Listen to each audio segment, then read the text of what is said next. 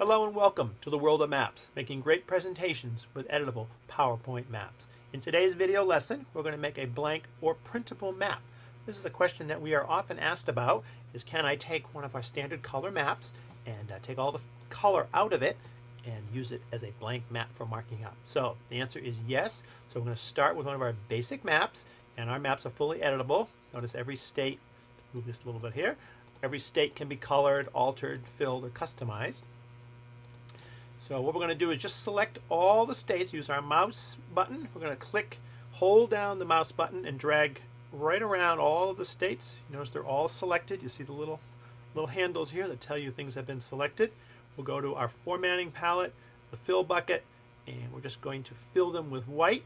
We now have a blank map that is perfect and ready to be printed out and colored however you want to use it. So great for education, for presentations, for marketing, whatever you want to do. Uh, the other thing that people like to do sometimes is they want to customize this. Well, because these are all individual objects, it's easy to do. I can again just select around it using my mouse. And you'll notice all of these ones on the eastern side of the United States have been selected. I'm going to hit the delete key on my keyboard. They are gone. That easy. Real, real simple. I'm just going to move this to the center.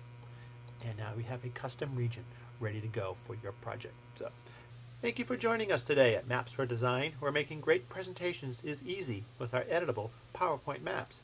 Immediate download, easy to edit, and a wide range of U.S., world, states, counties, and countries.